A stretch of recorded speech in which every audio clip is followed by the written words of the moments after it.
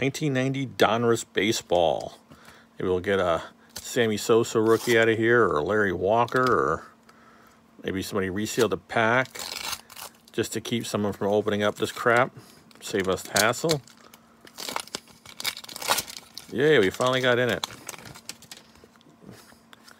Let's see what we get.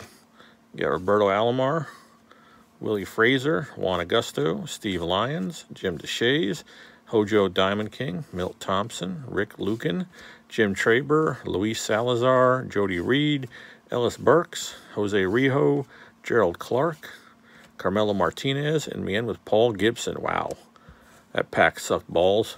Definitely some hot garbage there. Thanks for watching.